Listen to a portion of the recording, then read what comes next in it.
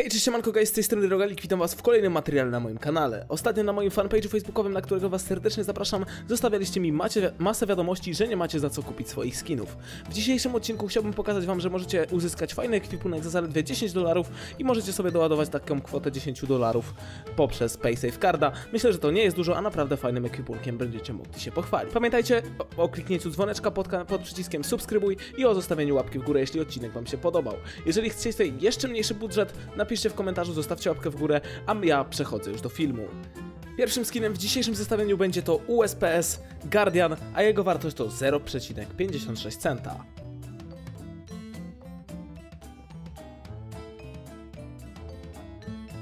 Kolejny skin to Glock Bunsen Burner 0,16 centa.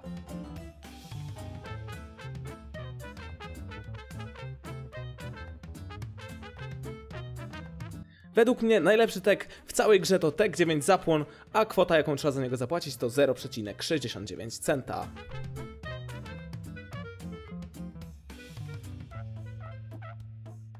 Five Seven Triumvirat 0,28 centa.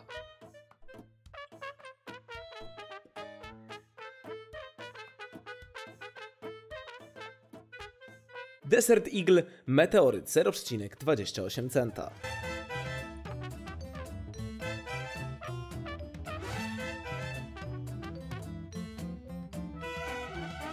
Kolejny skin to P250 Asimov, a koszt tego skina to 1,45 dolara.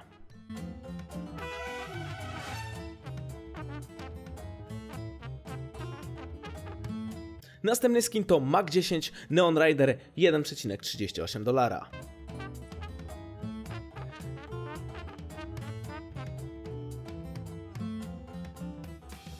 Kolejny już dzisiaj to MP7 Cirrus, koszt 0,49 dolara.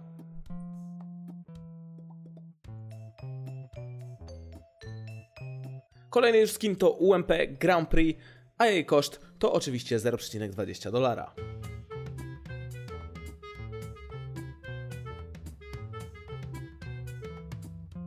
Następnym skinem dzisiaj jest już P90 Chopper, a jej koszt to 0,50 dolara.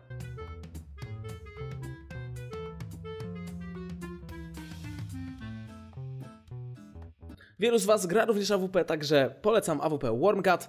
Jej koszt to 0,70 dolara.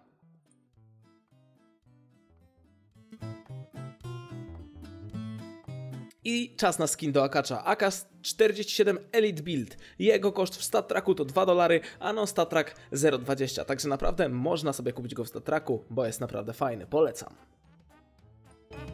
Galil AR Chatterbox Battle Skirt kosztuje tylko 1,13 dolara i w naszym zestawieniu też się dzisiaj znajduje.